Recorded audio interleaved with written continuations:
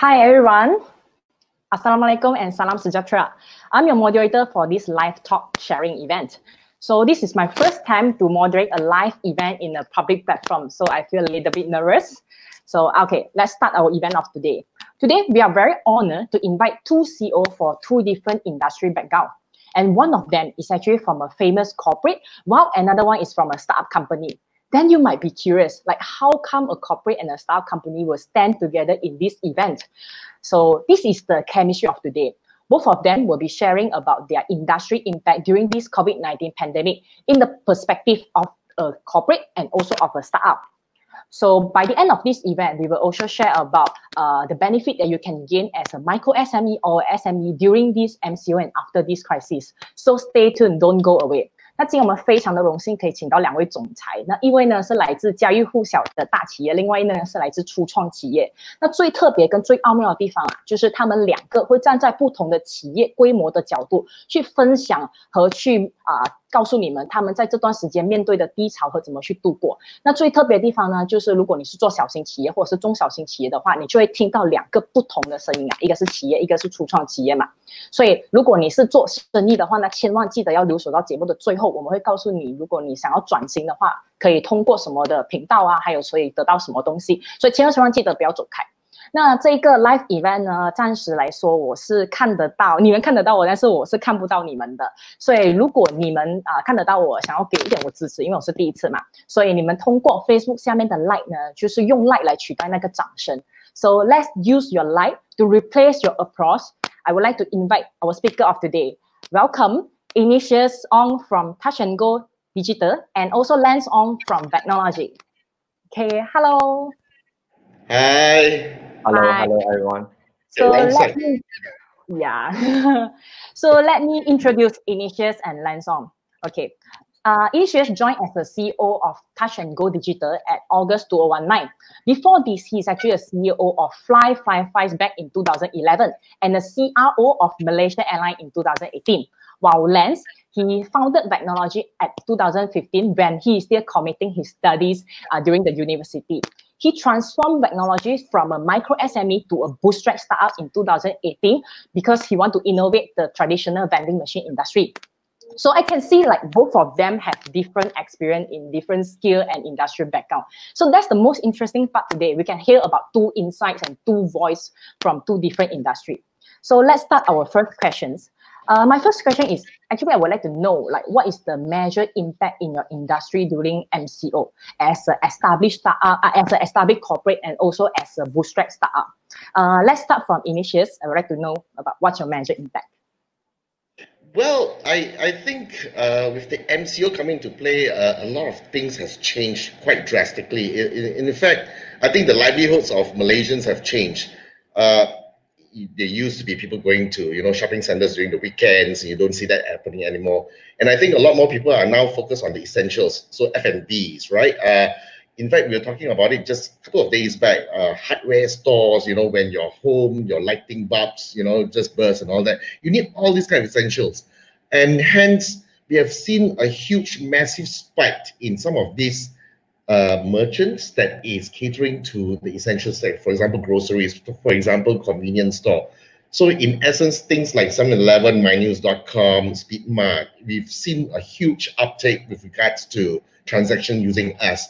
And also like places like Tesco and all that. But we also seen a couple of uh, new things. Uh, there was a huge spike with regards to online purchases. So our Apple Store, for example, spiked up three times in the last couple of weeks especially when MCO kicked into place.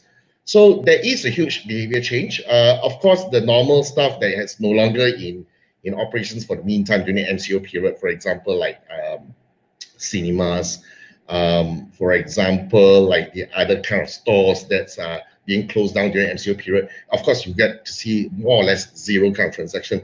But what we do see is that people are actually adapting a lot more towards cashless portion. So in the last four weeks, we have actually a spike in requests, especially from SME companies that is related to especially F&B uh, uh, services. For example, coffee shop stall owners, they have been calling out us and they wanted us to actually, you know, issue them QR codes because there are a couple of users, especially quite a number of users have refrained from using cash, right? First thing is they, they refuse to go to an ATM machine to go and key in and, and, and, and withdraw cash.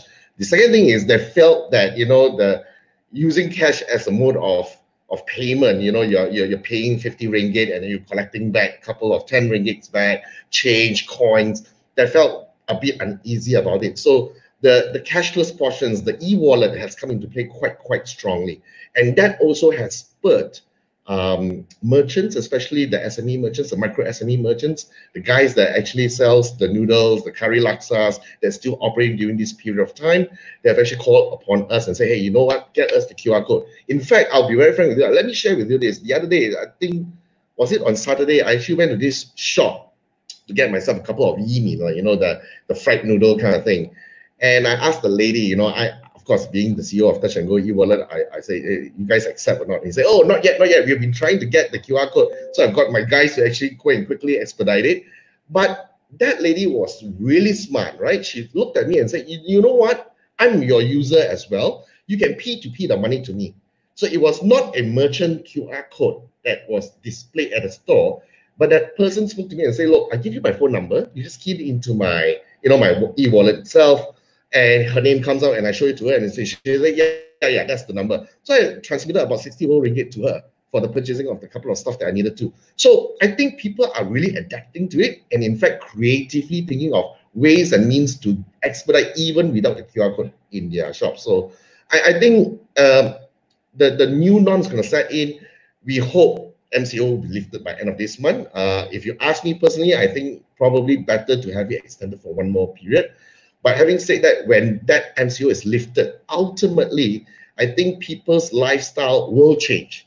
People are now introduced to, you know, food delivery, uh, groceries delivery. I think moving forward, I think that will become a new norm. Hence, uh, I believe that the landscape has changed quite drastically in the last four weeks, and it will have that halo effect moving forward in the next couple of months to see. So that's how I see it impacting us, especially the key ones. Like. All right, so uh, I can really know about the behavior changing is actually from the payments. So how about Lance as a bootstrap startup? Any major impact during your uh, MCO in your industry? Well, the impact, uh, frankly speaking, is actually quite drastically happened to the whole uh, ecosystem. So since uh, we are come from a startup background, so we are playing a very much into the startup ecosystem. Uh, during this time, I can consider that it's quite a tough time for a lot of startup or small SME. So um, of course, for the startup, we always pivoting our business, you know, how to uh, get challenge ourselves to uh, go through all these challenges. Of course, uh, as a startup, this is part of our DNA. Uh, of course, we I will explain later what's the major impact will happen in our industry. Uh, but I need to look into a more global landscape, uh, not because this pandemic disease not only happened in Malaysia, it's actually happened in the global.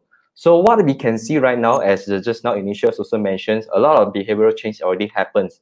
Things are getting into, you know, delivery, food delivery, all these things, uh, because people are really afraid, uh, afraid of a human contact and um, mass places, uh, mass crowded places, people will try to avoid because they might afraid to get uh, infections.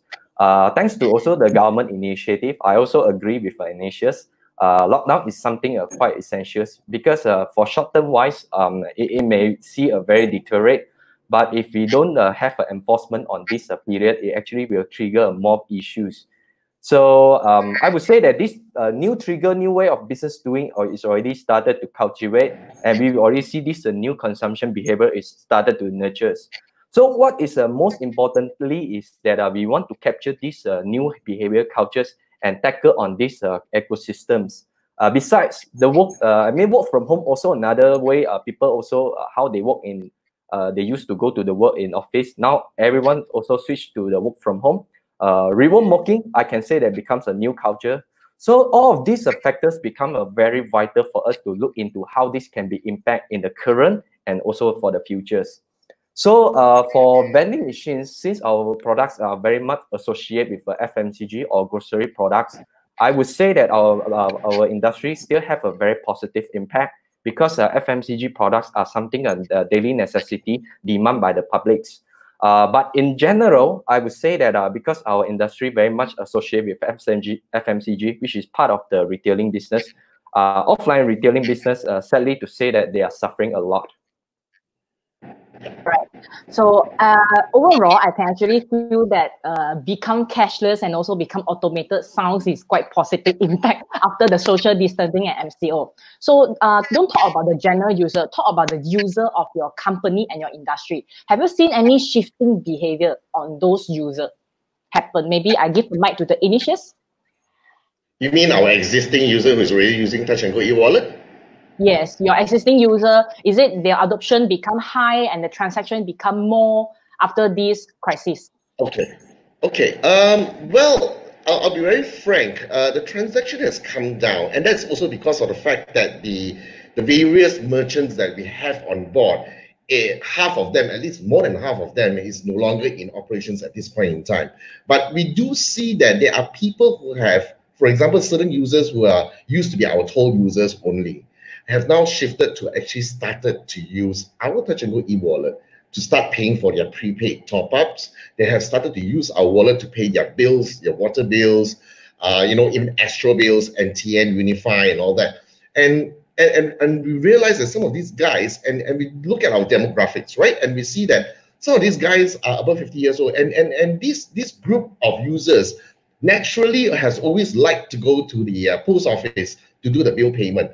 But since that is no longer an option, they have been compelled to start using technology, in this case, the Touch and Go e-wallet, to actually start paying all these necessities and bills and whatnot. So yeah, there is a shift. And and you know, I'll be very frank with you. If given a normal time, a normal instance, if I try to educate our users, and I'll be very frank, you know, my dad is one of them. He's he's close to 80 years old. Trying to get him to use the e-wallet, oh my god, it's it's, it's just it's, it's just uphill task right? But when you have environment change like the MCO, you know, I'm not saying this is a good thing, but there's always opportunities within the crisis itself.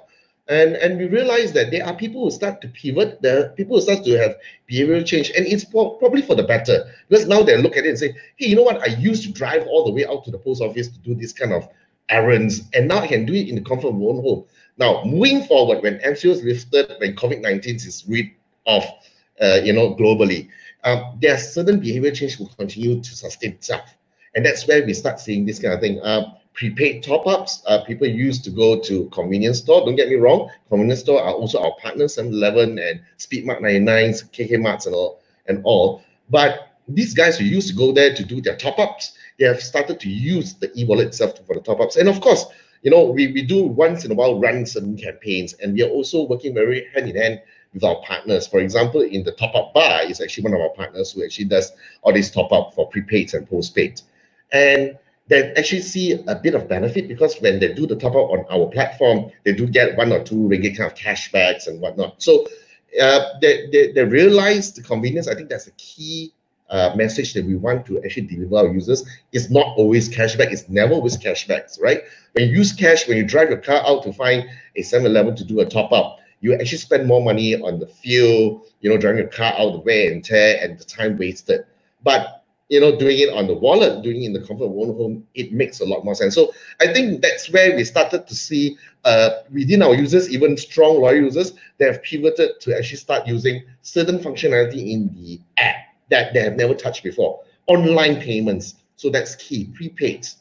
Uh, and then we have partners, for example, like Delivery Eats. Uh, we have partners like uh, MyCard. So they are actually using a lot more uh, with us in the sense that they are paying for the Delivery Eats, so food delivery going to their homes uh, with us using the e-wallet. Because the fact is, some of these guys do not really have a credit card. Yes, everyone has may, may have a debit card, but Having said that, they like the fact that the e-wallet is in there. They can actually manage the transactions. They know exactly how much they're paying for. So again, there is a massive mindset change, and I think the behavioral change will come along really, really smoothly around this period. So yeah, there is good part to it. Uh, there's not so good part. The negative portion is actually a lot more of our other merchants that's not in the essential business is not really doing well. But I think those will automatically come back when MCO is lifted.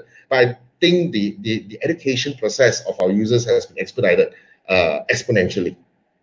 Wow. So uh, there's always good and bad and pros and cons. So we can hear from the Ignatius, which is the payment behavior already have both side impact. How about the Lance, your industry user shifting behavior? I would say that I'm, I'm quite excited to hear from the Ignatius uh, to talk about all this uh, cashless uh, uh society. Uh, this all this actually very much associated with our products as well, which is our uh, e-wallet vending machines. in fact, that when people are actually get used to all these cashless, or we call it the e-wallet payment, uh, it's actually smoothen the process of the, the, the transactions and all this sort, all sort of this uh, uh, promotion actually gives a very good benefits back to the merchant as well. Uh, in fact, uh, shifting behavior is actually happened uh, quite drastically uh, among our clients uh, and also from the end user uh, consumption level. So what I can see from here now is that um, uh, it's actually had a very huge contrast conditions for the consumption way and uh, the, the difference we can see here is quite extreme. Uh, let me put an example. The vending machines that, that are placing at the public places like universities or the government institute, they are actually experiencing a zero sales for their entire months. So this is a, some uh, very uh, drastically uh, uh, result that we can see right now. Um, but what we can see from the, the other, on the other hand, uh, vending machines that are placing close to the residential or the lockdown places such as the condominium, they are still performing, which is surprisingly that uh, because all these places, uh, which is very much underrated, uh, that perspective from the vending operator, now they become uh, one of the good places. Um, what I can say right now is that the retailing business, because since our products are very much uh, associated with uh, retailing business as well, um, the retailing business right now who actually sell their business at the retail uh, retail shop or the business park or shopping mall, uh, what I can see right now is they actually suffer a lot, a lot of from a perspective of rentals or OPEX on a human resource. Uh, even right now, um, they are already suffering. But the question would be, what if the, the MCO already lifted? Would that would they still sustain in the a couple of months or not? This is something very challenges. So, but what I can see here is that the vending machine becomes one of the alternative uh, options uh, I might I might not saying uh, it is one of the only, uh, but it, it is somehow a very good options because of to replace on the OPEX issues, HR issues, and also the lower rental, uh, the the condition for that. So uh, since vending machines has very much a dynamic adaptability uh, on any any condition, I would say that it gives a very good opportunity for the vending operator to, to capture the new ways of how the business can be doing. So because of the all of this uh, shift of behavior, it becomes a result, a new wave of uh, business conduct. So this is allows a vending operator to have a new strategy to tackle new ways. So in fact, that uh, like what Ignatius say that all this um, uh, cultivate, uh, cultivations process is already ongoing by the mass public in terms of adoptions of all like e-wallets. Uh, I would say that uh, would be something uh, very beneficial uh, back to the uh, offline retailing uh, at one days. But at this moment, of course, the uh, challenge is quite high. Uh, it just would take some time to buffer for these uh, challenges. All right. So actually in Malaysia, we can see that our Malaysia government trying to help people by launching several economic stimulus package or programs. But mostly they are focused on people instead of companies, especially, for startups, micro SME, small medium enterprise. So as a CEO, you have the role advantage to make the initiative in helping your customer or user during this crisis. Uh, are there any initiatives you are planning or you already done to help your customer during this pandemic? Uh, I would like to hear from hear from the Ignatius. Okay, uh, so essentially during the MCO period, the guys that is really, really needing a lot of assistance are the SMEs, the micro SMEs itself. So you heard about me, what I've talked about just now, uh, the guys that operates out of the coffee shops, the guys that have grocery stores, and we're talking about the mom and pop grocery stores as well. Um, we are actively actually getting the listing and we are calling them. So we used to actually onboard these guys at field level, at ground level. We basically have people going into the stores and explain to them, you know, what is the what's the benefit of having the e-wallet QR code, and now I think that education process has been expedited, like what I said earlier on. So in essence, we don't really need to spend much time. In fact, a lot of people are knocking on our door. Some are even sending in emails to us and saying, hey, you know what, my store is in Setia Alam. Could you get someone to, you know, I'll submit in whatever documents that you need to, you know, my SSM documents and all that. When can I get a QR code? So that's that's a great thing and that helps that education process a lot more faster. So we've got an SME team in our company that is actually actively doing this. So we are generating the QR codes, we're sending it out to them. Um, we tried a couple of ways. Electronically, we, we send an email to them, and what we can tell them, you know, print it out if you have a printer, and then stick it onto the on, on onto your, your your premise. Now the other ones is a smaller ones that really doesn't have a printer. So what we do is we actually uh, um, employ a services of a partner, a logistic partner, to have our POSM sent to them as well. Now we found that this is good, it's ongoing, but the process is a little bit long. So what we do is, I've always believed in what we call uh, smart partnerships. So we are starting to work with certain, well, I call it aggregators, but these guys are really out to support the SMEs. So uh, I, I, I can come up with a couple of names, like Go Eat is one of them. Uh, StoreHub, which has actually started running this website called beepit.com, right? He has accumulated about 400, especially F&B uh, SME merchants, right? So uh, I'm not going to talk about the big boys like you know Grab Food and Food Panda. Uh, some of these SME merchants find the charges a little bit more expensive working with these guys. Uh, hence, they are now working with people like StoreHub. They're working with people like, for example, Go Eat, where their whole game plan is to keep and sustain the SMEs. And these are the group of SMEs that you really need to sustain because they do not have a huge capital base behind them. And if the next couple of weeks, if the extension of MCO is going to be extended, it's going to have a very, very huge strain on their cash flow. So what they do is they actually onboard these guys onto them, and they basically create a marketplace, a platform for them, and say, look, uh, the guys that sells prawn noodle in SS2 coffee shop, you know, the I don't know which name it is, like, right? And he just signs up with beepit.com. And what happens is someone will go into beepit.com he does the selection and he say, okay, I today I want to have my prawn noodles. He select like three packs, add more sambal for myself, definitely more sambal and all that kind of nonsense, right? And they accept the payment on their behalf. And then these guys will send a message to that that person to prepare that three packs of noodles and will also send the logistic companies, the, the guy who does the delivery, to come and collect and send it to the buyer. So I think it's all about smart partnerships. We are doing things directly and trying to onboard these guys directly, but it is quite straining. It, it quite is quite strenuous. So at the same time, in parallel, we're working with uh, partners like these guys, and we're trying to work with more, and we're trying to even get more people to get involved. So some of the things that, if you notice, Ramadan is this week. You know, it's actually Friday. It's gonna start. Uh, you you heard all these ministers. One minister saying drive through. One minister saying no. And then KKM has finally stood in, thank God, and said, you know what? There's no going to be e, any e-bazaar, whatever form. But what we are now trying to do is we know that these guys need to get themselves on board because they, they, they need to sustain themselves. So we are we have the list of names, the e-bazaars, the, the, the, the Malay, the, the, the Ramadan e-bazaars guys, and we're actually sharing this list with these partners itself and say, hey, get them onboarded during this period, right? And that's how we are trying to move and, and, and, and sustain everybody within the ecosystem. Because ultimately, if we can't go through this next couple of weeks together and making sure that this guy sustain itself, you're going to see a lot of people dropping off. So you're, you know, I was just funnily this this afternoon, I was just talking to some of my colleagues in the office, and they say, you know what, if if this MCO is going to be extended for another two more weeks, you know, my favorite banh mi store is going to be gone. I mean, we, we laughed about it, but it's true. It's really true.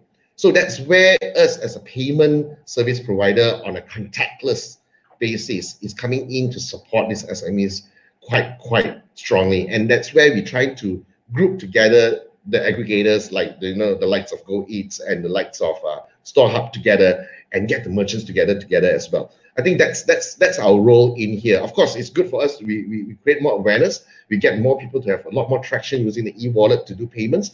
But I think like you know to, to the same point like what Lance said, right? It's all about making sure we take advantage of this current crisis period and make the best out of it.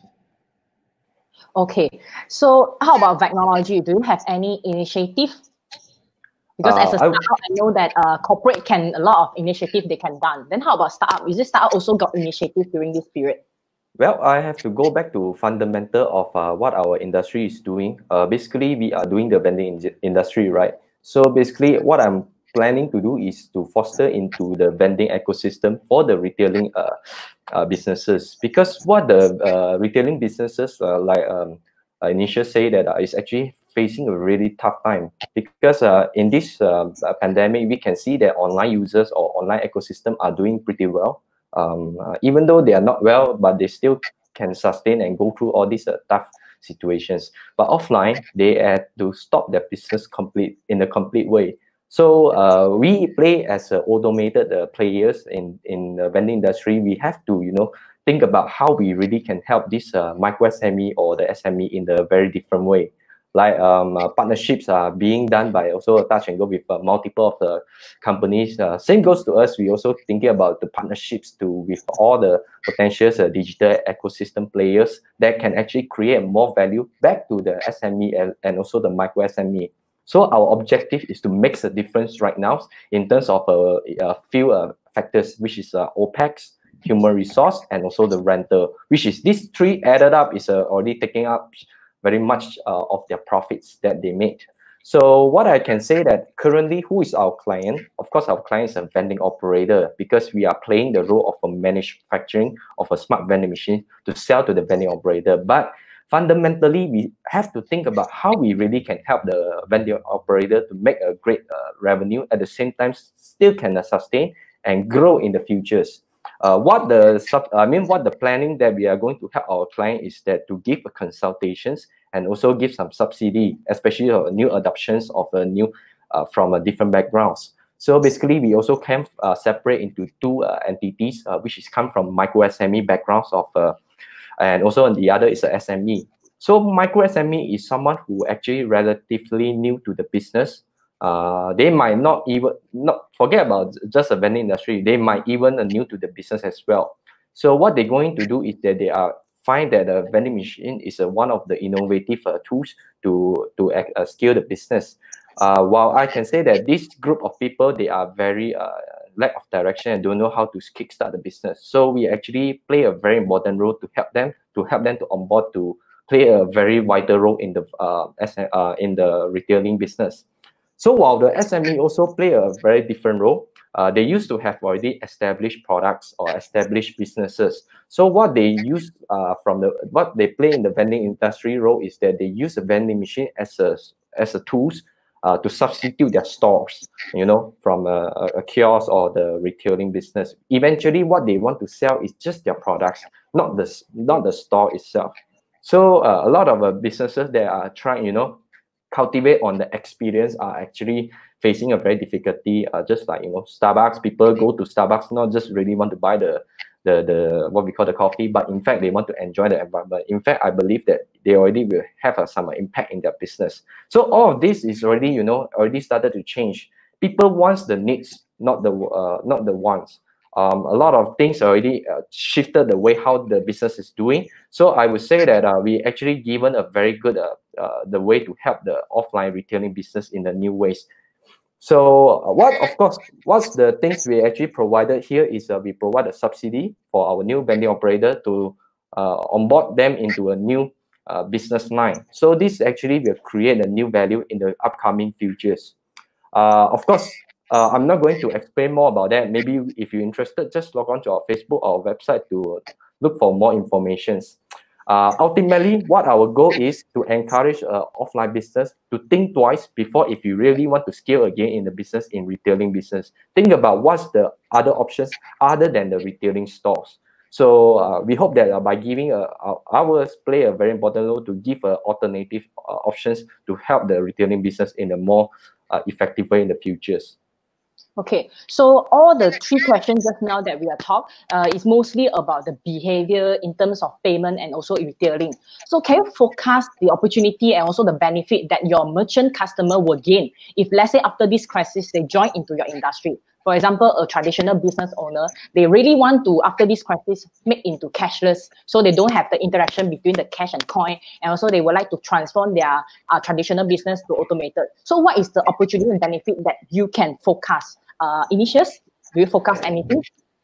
Uh, well, uh, running that touch and go e-wallet, of course, we forecast there will be a lot more people having a lot more stickiness and traction using our wallet. But let, let, let's not talk about Touch and Go e-wallet per se. Let's talk about the merchants itself. So, for hmm. example, because of the existing environment and, and with the MCO that's in place, um, a lot of merchants has been, in one way or another, being pushed into the sphere of food delivery, right? And I believe that a lot of these guys have now seen a different opportunity within their own business. For example, uh, uh, I'm not gonna I'm not gonna do advertisement for you know some of our F&B merchants lah. Mm-hmm. But if anyone who lives in PJ, you would know of this Hokkien noodle store that is near uh, oh, Jalan Tututu. Okay, I won't name his name lah, but I think everyone would know who I'm talking about, right? And they never used to do food delivery. Now, because of the fact that MCO is in place and you know Malaysians just love Hokkien noodles, they have actually put a sign on outside their, their their coffee shop and says that you know this is the phone number. We operate between I can't recall I think 4 p.m. to about 7 p.m. and that's where they do all the fry and everything. And you know call this number come and pick it up. And that I don't think they work with an aggregator. I don't think they work with a logistic company to do the delivery but they do have the pickups right so you think about it now when MCO is lifted, they realize that there'll be people that they're serving to come into the restaurants and eat the Hokkien noodles there. But there will be people who continues to actually make delivery order via the phone, calling them. And they will see that their top line revenue has just easily doubled or tripled. Because the fact is, if you're just operating like what Lance, you're operating on an offline model, you have to have high, huge rental costs. You are actually constrained by the real estate of the coffee shop that you have in. So if there's going to be 10 tables, it's going to be 10 tables. Worst thing is you have one or two tables of people who's just drinking beer for the whole bloody night and they're not moving away. You do not have that crossover. You do not have the turnover of the table. But that's as much as you have. You only have the 10 tables and you probably have about three or four turnovers per night.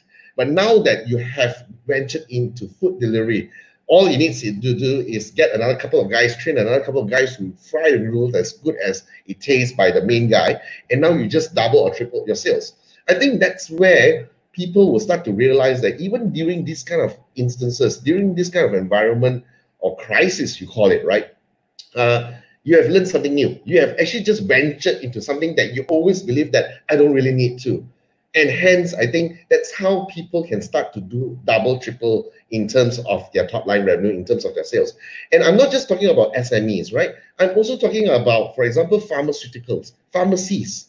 Um, they have started to do deliveries as well. So, and we being in the in in in the you know e-wallet space. We have dealings with clinics as well and and and also pharmacies and also the big boys like the the guardians and the watsons and the caring but we're also talking about the mediocre ones you know the aa pharmacies and big and all that.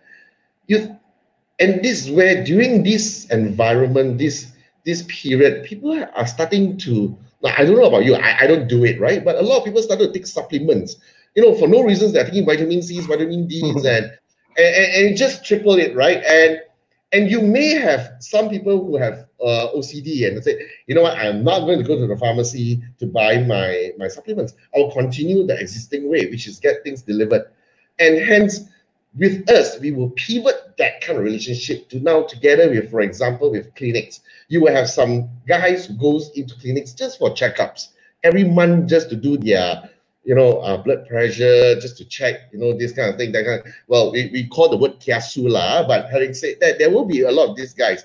And what we're trying to say is, these guys, we know they're doing transactions with us, and we're trying to see how we can link this up with a pharmacy that actually will actually um, um, um, address their needs in getting their supplements. So I think that's where we come into the play and see how we can actually pull the relationships together and make it a lot more stronger, but at the same time delivering that kind of convenience, the kind of value add to the user itself.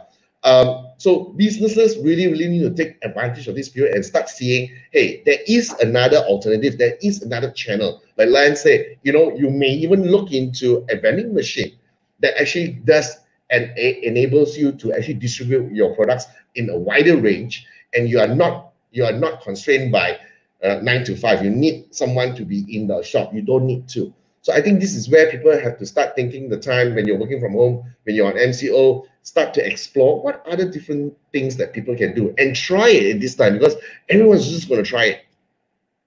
Yes. So as a business owner, actually, user is getting more and more uh, convenient and you're getting more and more lazy, like so called. So you I are don't see business- that. you are a business owner, so you have to think about the user pain point That's and see how we can make it more convenient. So how Correct. about your forecasting opportunity? If let's say they join in the vending industry after this crisis. Um, all right. Um, what I can say that uh, if they really join into the vending industry, uh, they actually taking the advantage for the futures. Uh, because uh, like we, we always say that you know industry 4.0, the IoT tech, all these uh, all tech technological things. But uh, uh, but one of the challenges here is that a lot of people when think about the technology, people will say that oh this sounds great, you know, um, it's not the time yet. But in fact, that this is really uh, the, the technology created is to serve the market with a purpose, and that's uh, where the vending machine also play a very vital role in here. So because of uh, this pandemic uh, crisis, uh, eventually what we can experience right now, of course, is quite a challenging because uh, we always see that uh, a lot of market is constrained in terms of uh, investment, pay uh, capital investment into uh, a new a new type asset. But what we want to say is that uh, something uh, after the COVID nineteen, the how the retailing is going to change the landscape uh, by the by the how the vending machine can be impact into. So this is uh, some of the things we I really want to uh, encourage the new user uh, who in the current offline retailing not just look at the not just look at the what we call the e-commerce platform, but also look it into other the innovative retailing tools that can uh, uh, make the business even more better. Because eventually, uh, future is all about digitally connected. People who can buy the things from online also can buy from offline. It become a you know omni channel to access for the users to have a multiple options to purchase the things. Uh, but I, here I would like to share one of the very good example that um uh what we what the customer will gain uh, after this crisis is that um uh, in 2008 uh, there's one of the uh, global crisis economy global crisis. Of course uh, right now this time is quite exceptional because it's considered a health crisis plus the economic crisis. So it's actually even worse than 2008 uh, but what we can see right now that time is that uh, after 2008 a lot of new businesses are actually a new opportunities that stand to boom in the market um, for example, the e-commerce at times, uh, you know, people always think about that. Oh, e-commerce is something great. You know, uh, you can buy things from online because it's so effective to to transfer the goods from the seller to the end user through the delivery. But in fact, that uh, after that time, uh, eventually a lot of retailing business become a culprit again during that time for the retailing business. Their business couldn't, you know, uh, has has to close down or you know have to pivot the business. Eventually, the time uh, this e-commerce coming at a uh, very cost-effective method to help to buffer the conditions. Uh, same goes to right now. What we can see now is the it's true that the e-commerce is already helping you know uh, people to deliver goods from the online from seller to the end user. But people never think about what's the role the offline can play a very important role which is by using a technological things such as vending machines. So i would say this is a shuffling time. A lot of business you know uh, some goes bankrupt or some might be boom. So what we can what we want to say here is uh, just prepare yourself in the next two years what is going to you know the next giants uh, that might be growing uh, in the markets. So just be prepared and uh, take advantage of what the economy. Uh, I mean, what's the opportunity in the upcoming? Uh, it's true that the economy right now looks so bad. A lot of things uh, look so um, it's so so serious. And uh, but once it rebounds, I would say that are you the one of it to steer the market and uh, you know ride on the wave to grow into the new futures? All right. So it's very interesting and precious insight from Initius and Lens. So for all the audience here, actually, they can hear the insights and also the voice from different industry, from an e-payment company and also for vending industry companies. So there is actually plenty of questions asked by the audience uh, since beginning of the live talk. So I will choose some of the question for our Q&A session later. 那我会在留言区选几个留言来做我们今天问答环节的问题啊。So before 我选那个问题出来之前呢，啊、这里有一个好消息要跟大家分享。如果你是做生 if 的话呢，if you are going to transform your uh, traditional retailing business to an automated and also cashless business. So here you will gain the support from Touch and Go and Vechnology by using the Touch and Go vending machines. So uh, if you would like to know about more vending machines, please comment e-wallet vending. Okay, you comment e-wallet vending, and then we will have a person in charge to PM private message you about the details. Uh, actually, Vechnology have some subsidy, and also Touch and Go has some cashback maybe. So please uh, comment e-wallet vending, and later on we will send you the things. So I already uh, have some questions here. Would like to ask uh, Ignatius and Lance lah. Hmm. Okay, one of the question they ask, what if e-wallet payment often encounters server down and can't process e-payment. Oh my god. he asked like, what if lah, the touch and go always down? Then like what happened for a merchant? Always down, then it's not good for our business, uh, got problem. So do you have anything? I think the question is I think you. I, I, I, I let the Ignatius to answer because those are payment process. Nothing to do with vending machine. Yeah. Uh, I, I speak from facts, right? Um, and, and, and I know for a fact for Touch and Go e-wallet, our system uptime is at, we have a very, very strong SLA, which is about 99.3%. And that's our SLA. As far as we are concerned, we want to ensure and we make sure, and not just uh, uh ensure, we make sure and assure our users that our uptime is always at above 99.3%. So yes, there may be one or two times, but that would not, not happen all the time. So rather than talking about exception cases, let's talk about the things that we are doing to ensure that our uptime is always there. So for that matter, you have my assurance that based on the last two years operations that we had, uh, Touch and Go e-wallet until now, our uptime has always been above the 99.3%. So I think that's that's the kind of assurance we want to give it to our users as well. So um, I don't think people need to worry. I, I just want to re-emphasize a lot of people fail to realize who we are. Um, touch and go name by itself, I think every Malaysian would have said the word touch and go in their lifetime. It's just like the Garako, right? Touch and go has always has been in this country for the last 20 years. Uh, the other portion of it is that you need to know who is our shareholders, who's the guy who's funding this company.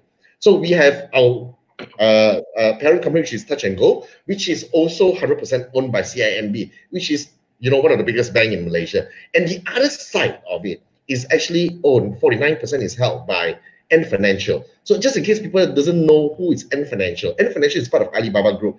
Ant Financial is the company that operates Alipay, which is the biggest e-wallet in the world.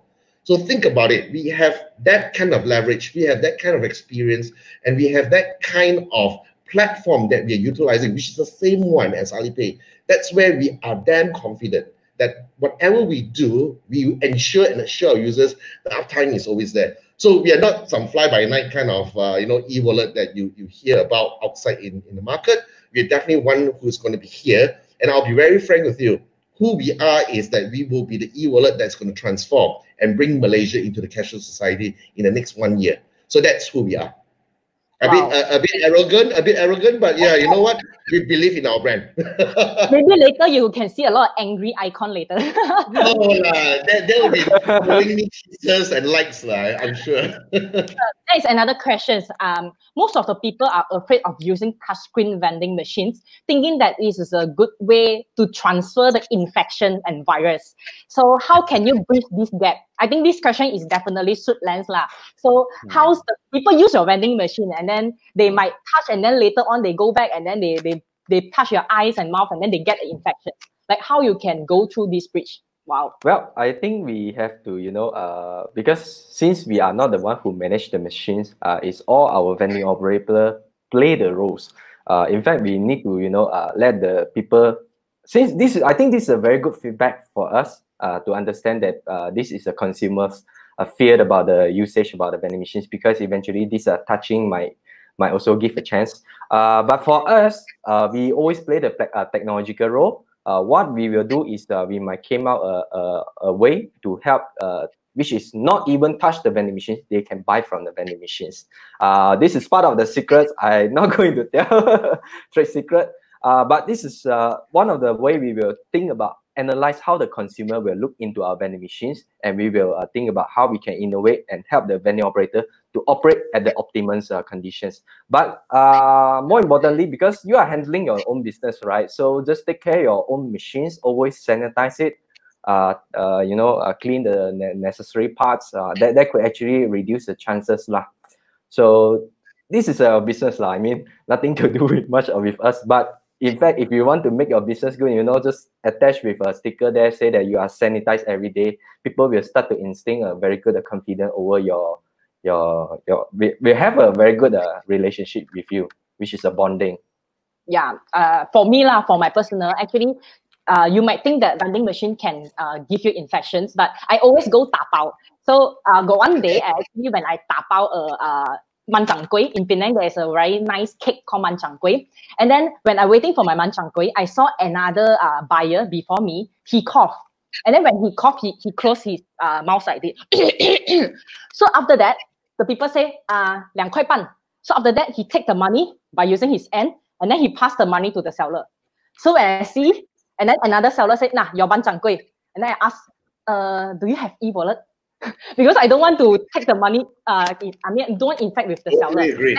No, we don't have e-wallet. Uh, only cash. Then I open my wallet. I only got fifty ringgit. So definitely, I need to give the change, take back the change from her.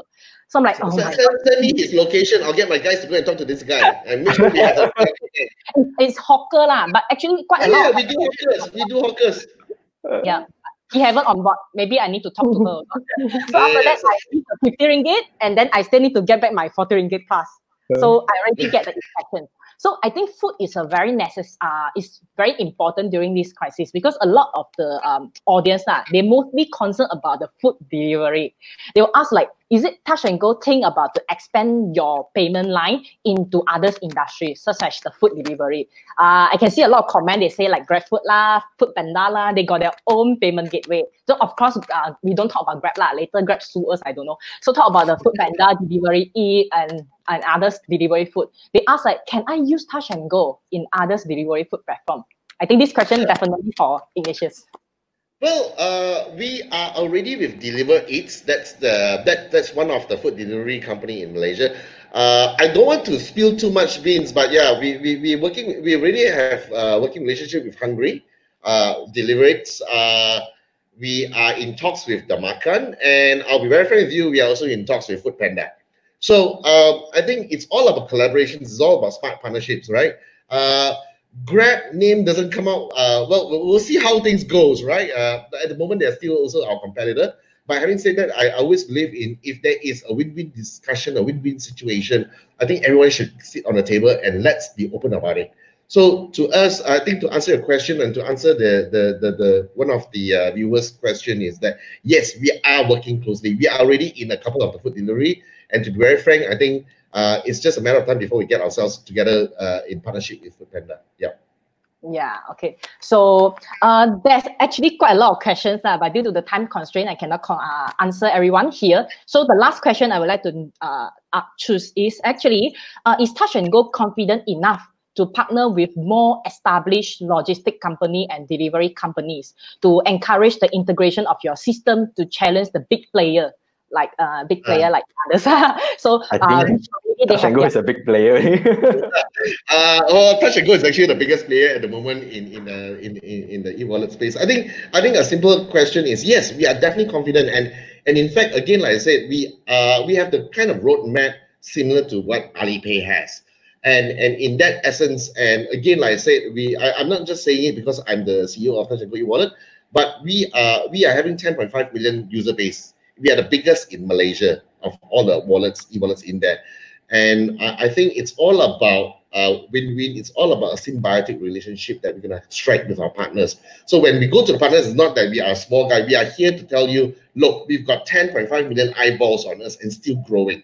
And hence, working with any of the partners that is in play, that you can get to see the kind of value that we put on the table. At the same time, we also want to ensure that our user, our, our loyal users, get the whole range of benefits and whole range of products and services that we can actually work with as with a partner.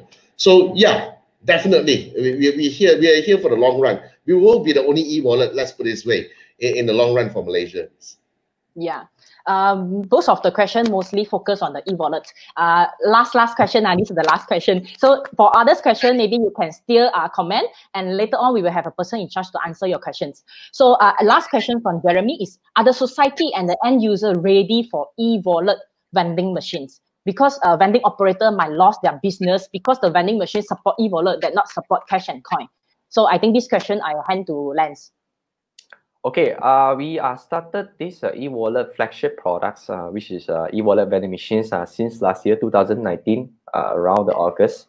Uh, I would say that uh, this partnership, I mean, uh, a partnership with a lot of uh, cashless uh, uh, system is part of the essential for us to move into a cashless society. Um, it, it could be one of the very uh, great channels for the futures. But of course, right now, a lot of people still asking about cash and coin. Um, but I have to be, gen- I mean, uh, be frankly to tell that um, uh, cash and coin actually uh, experience a lot of a ch- I mean, the problems that uh, because we are from a vending industry for the past five years, we understand that all the challenges the vending operator might experience or even the end users, uh, the change doesn't give back. But uh, with uh, fully adoption of the what we call the cashless uh, transactions, it's actually quite a seamless purchase experience for the end user and also good for the vending operator. So if you ask me, I was I would definitely uh, have raised my two hands to support for cashless. Um, and right now, I can say that it's a cultivate time a lot of thing, uh, a lot of things are actually in the in the process to adopt the uh, which is an e-wallet. Uh, but if it takes time eventually to you know move into a full scale of uh, e-wallets. But uh, take this opportunity. I mean, currently a lot of people is already forced to you know uh, they, they they also started to in, adopt more and more. And this is this doesn't I mean doesn't have anything decrease at all. It just keep on increasing. So why not just ride on the wave to grow together? That that could be something uh, very good to look at. So in fact, that uh, I would say that cash and coins is something necessary. Like a lot of people say that uh, cash is king in Malaysia, but uh, it will eventually it will uh, obsolete in the future. Yeah. Yep. Today is a very fruitful day to hear from Ignatius and Lance. Both are the CEO of TNG Digital and Vechnology. So for those audience who comment e-wallet vending, remember to check your inbox, especially the request inbox, because some of the message will go into another inbox. So if let's say uh, you didn't receive any reply, you can also text uh, Vechnology Facebook page, Vechnology Vending Technology. And also we would like to ask a favor. You like and follow the Facebook of Touch and Go e-wallet and also Vechnology so you won't miss any cashless society information in the future. So thank you, Ignatius and Lance, for finding your time with us. Thank so you. it's really grateful. I can see a corporate and also a startup can work together to build a better ecosystem. So thank you so much for all the audience staying with us. So thank you so much, everyone. So sekian terima kasih and salam bahagia. 谢谢，谢谢你们。Thank you. Thank you. Thank you. Thank you. Bye. Bye bye.